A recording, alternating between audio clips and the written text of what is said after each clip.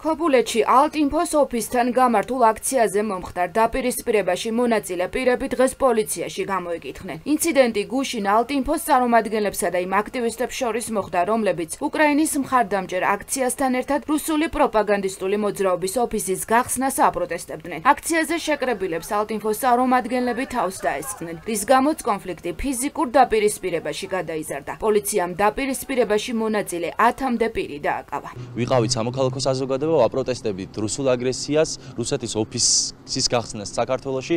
ეს ბავშვები მართლა გმირები არიან ჩემთვის, მადლობა მათ და პირობას ვდებ მათ მათ მათ პირდები რომ მაქსიმალურად შევესწრები რომ ყველა ადამიანი დაისაჯოს, ყველა მოძალადე იჯდეს ციხეში. გვიან ღამე ვიკითხებოდი, პირველ საათამდე ვიკითხებოდი.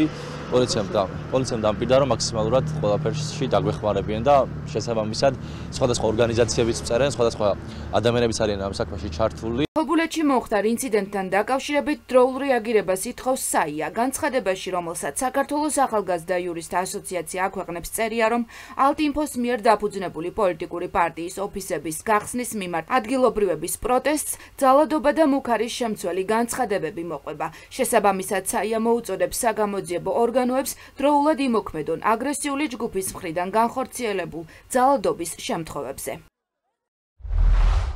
საგულისხმოა რომ მათი წევრების მხრიდან არაერთხელ გაკეთდა ოკუპანტი ქვეყნის მიმართ დადებითი განწყობის გამოვლენი განცხადებები. აგრეთვე ამზადობრივი პრორუსული ჯგუფის მიერ 5-6 ივლისს ჩადენილი მასშტაბური ძალადობა მიმართული იყო ქვეყანაში დესტაბილიზაციის გამოწვევის საქართველოს მიერ არჩეული დემოკრატიული და ევროატლანტიკური კურსის საზიანოდ უკრაინაში რუსეთის სამხედრო აგრესიის შემდეგ კი საზოგადოებაში კიდევ უფრო იმატა კონსერვატიული მოძრაობის მიმართ ლეგიტიმურმა პროტესტმა.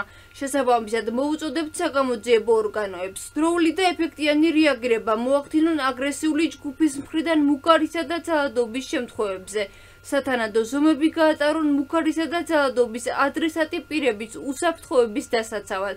გააკეთონ კაფიო განცხადება, რომ ძალადობრივი ჯგუფების ქმედებები არ დარჩება დაუსჯელი. ალტინფოს წარმომადგენლების მხრიდან ძალადობის ფაქტზე პასუხისგებლობას პირადად ვახტანგ გომელაურსა და ირაკლი ღარიბაშვილს აკისრებს პარტია ლელო. დღეს პარლამენტში გამართულ საგანგებო ბრიფინგზე ანა ნაცლიშულმა ისაუბრა. ფიქრობს, რომ ხელისუფლება უმოქმედოა, რითაც ხელს უწყობს ძალადობრივ თავდასხმებს. ნაცლიშვილი მოუწოდებს შინაგან საქმეთა სამინისტროს მომხდართან დაკავშირებით დაუყოვნებლივ გადადგას სამართლებრივი ნაბიჯები. მოვუწოდებ შინაგან საქმეთა მინისტრს.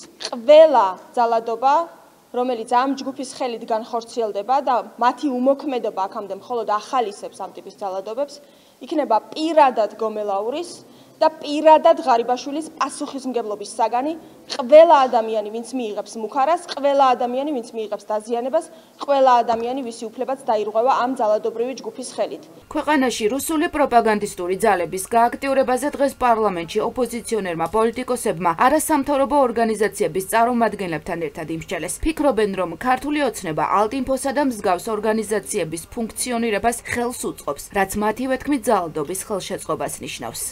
ალტინფო, რომელიც ფუნქციონირებს ჩვენს ქვეყანაში, საქართველოს დღე დღევანდელი ხელისუფლების პირდაპირი ხელშეწყობით.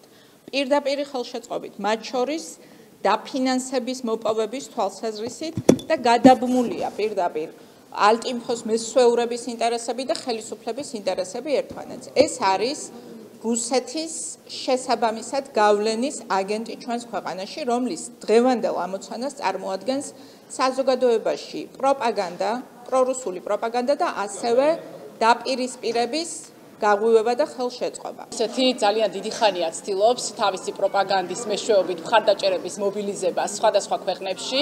ხედავთ, რომ გარკვეული ჯგუფები ცდილობენ ქვეყნის ინტერესის საწინააღმდეგოდ იმოქმედონ და ხელი შეუწყონ რუსულ დეзинფორმაციას და პროპაგანდას. ძალადობრივი და პრორუსული დაჯგუფება ალტინფო რეგიონებში ოფისების გახსნას მოსახლეობის პროტესტის ფონზე აგრძელებს. პროტესტის შემდეგ ძალადობრივ ჯგუფებს ოფისები დაახურინეს მესტიაში, ოზურგეთში, ხულოსა და შუახევში.